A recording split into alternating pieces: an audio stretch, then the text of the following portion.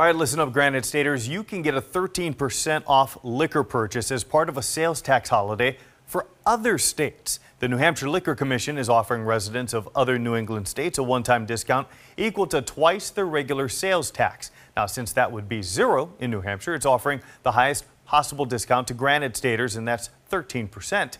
To get the deal, you have to sign up for the coupon. You'll find a link on WMUR.com.